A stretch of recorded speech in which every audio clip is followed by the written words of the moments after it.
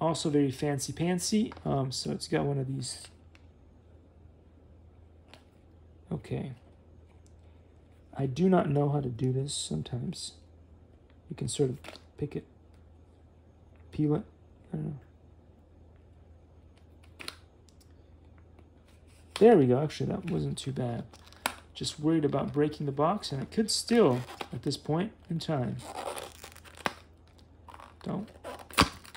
Okay, here we go. Whoa, this is minuscule. Really small. Again, very well packaged. USB-C, nice. They're stuck with the times. They updated stuff. So now all they have to do is uh, go back to the Aeroscout Minis and update that disaster there. This, again, looks really good. So I guess all I gotta do, since this is the smart charger, Likey